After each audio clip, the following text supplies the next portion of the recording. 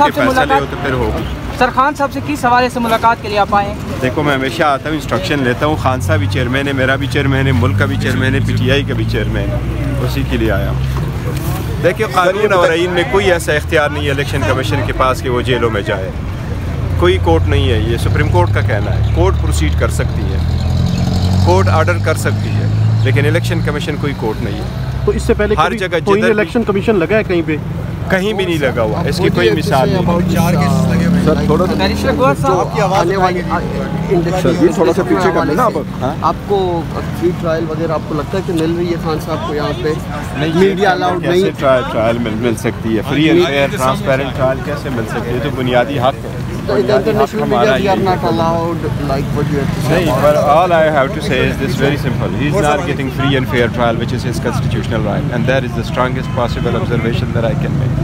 High Court has openly said that it has to be an open trial. And if it is not going to be an open trial then that is Do you violation.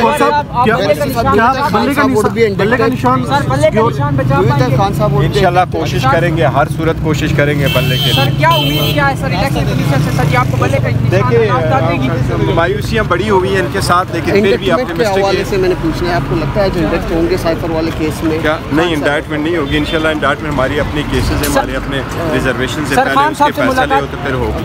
Sir Khan साहब से किस हवाले से मुलाकात के लिए आप आए? देखो मैं हमेशा आता हूँ इंस्ट्रक्शन लेता हूँ। खान साहब भी चेयरमैन है मेरा भी चेयरमैन है मुल्क का भी चेयरमैन है पीटीआई का भी चेयरमैन है।